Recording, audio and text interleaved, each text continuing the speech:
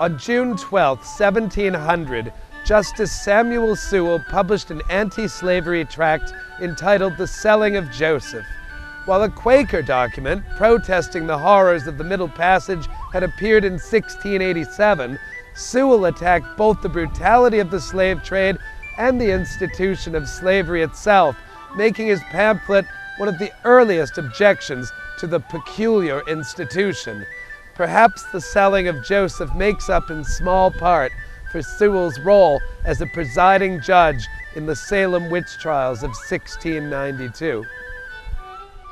This Day in History brought to you by the Freedom Trail Foundation, partnered with the Massachusetts Teachers Association to bring history to life.